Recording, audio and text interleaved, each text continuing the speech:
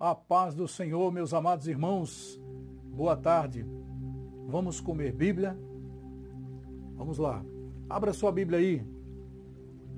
Na carta do apóstolo São João, capítulo de número 15, versículo de número 16. Está escrito: Não me escolhestes vós a mim, mas eu vos escolhi a vós, e vos nomeei para que vades e deis fruto, e o vosso fruto permaneça, a fim de que tudo quanto em meu nome pedirdes ao Pai, ele vos conceda.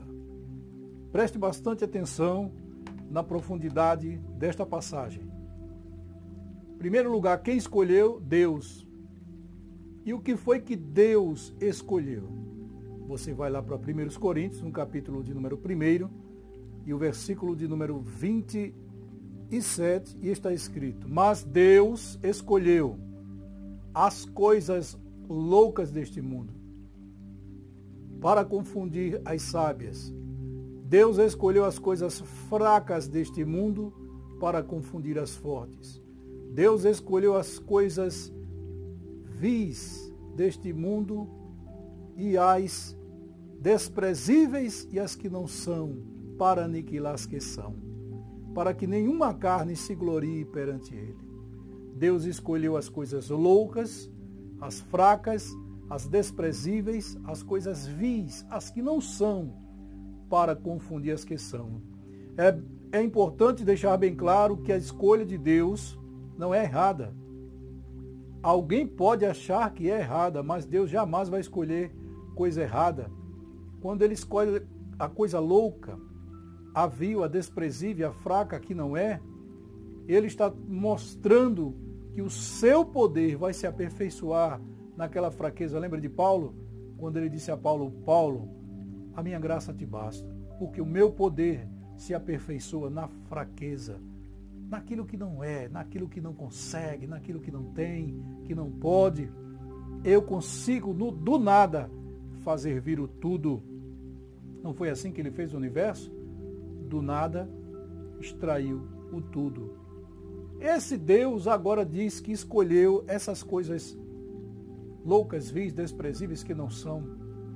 Agora eu lhe pergunto, como é que o mundo trata a igreja?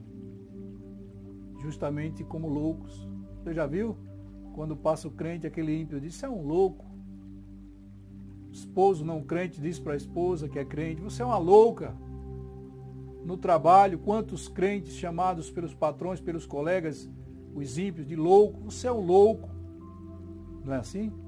Mas este louco, saibam todos, ele foi escolhido por Deus. Amém? Então, preste atenção. Cuidado com quem você chama de louco, porque você pode estar chamando e tocando em quem não deve e depois vai aguentar as consequências. Entendeu? Então fica claro, em primeiro lugar, Deus escolheu os loucos, os fracos, vis, desprezíveis que não são. Paulo chegou a dizer: somos considerados lixo deste mundo. Observe, observe como esse mundo, o sistema iníquo, trata a igreja todos os direitos da igreja são reprimidos. Os deles são glorificados, são exaltados. A lascívia, a sensualidade, o erotismo, a pornografia, a pedofilia, tudo isso é normatizado neste mundo cujo sistema é governado por Satanás. Então, fica bem claro: os valores da igreja não são os valores do mundo jamais serão. E Deus foi quem fez essa escolha. Fique tranquilo. Se alguém lhe chamar de louco, fraco, você é um fraco, você não consegue fazer nada na vida, você é um homem vil, um desprezível, não é assim que eles desprezam. Você não é nada. Lembre-se, você é alvo da escolha de Deus. Dito isso, aí vamos analisar agora por que Deus escolheu. Ele diz na sua palavra: para que vades, deis fruto.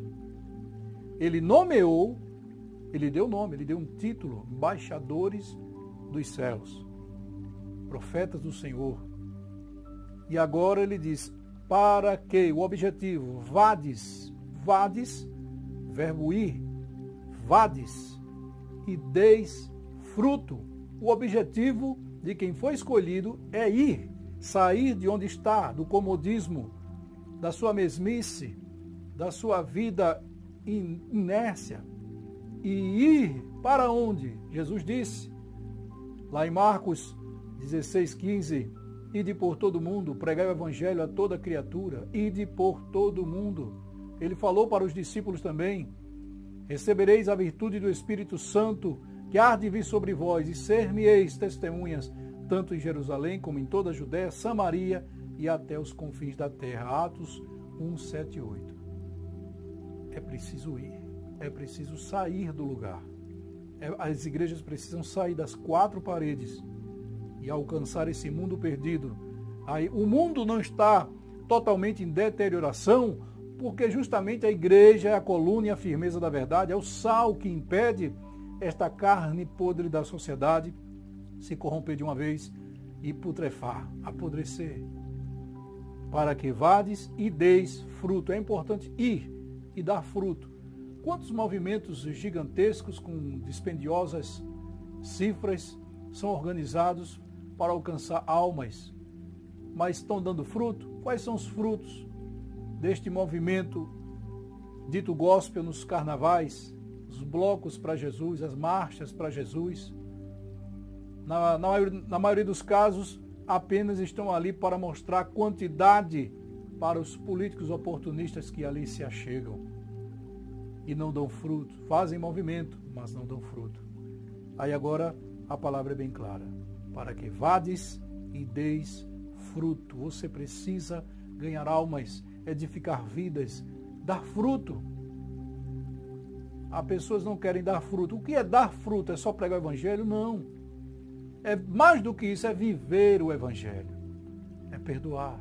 Dar fruto é perdoar, dar fruto é amar, dar fruto é socorrer aos caídos, aos necessitados, Dar fruto é você se encher de Deus e se esvaziar do mundo. Dar fruto é você ter visões espirituais, a iminência do arrebatamento, estar preparado, preparar sua família, sua vizinhança, seus amigos. Dar fruto é viver o Evangelho. Amém?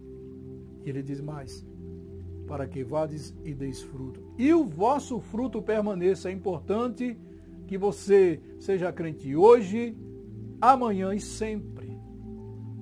Não é dar fruto por uns instantes de culto de avivamento, de congresso, aquele chororô, aquele auê todo e quando termina volta à prática do pecado. Não, o fruto não permaneceu. Amém? O fruto foi só por um instante. Então não foi fruto do Espírito, foi fruto da carne.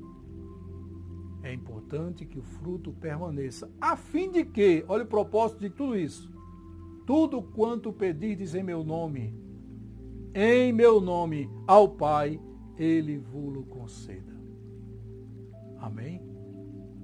Tudo quanto pedirdes, o que você precisa, o que você necessita, você pode pedir ao Pai, depois de cumprir a sua parte que é reconhecer que foi escolhido por Deus, que foi nomeado por Deus, que recebeu a ordem de Deus para ir, para ganhar o mundo, as almas, para edificar vidas, para dar fruto e este fruto permanecer.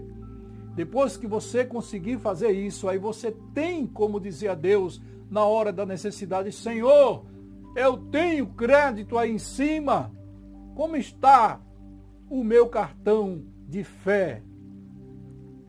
Como está? Tem crédito, tem saldo aí? Então vou passar agora e eu vou precisar agora, Senhor, que o Senhor interfira e me dê o meu milagre.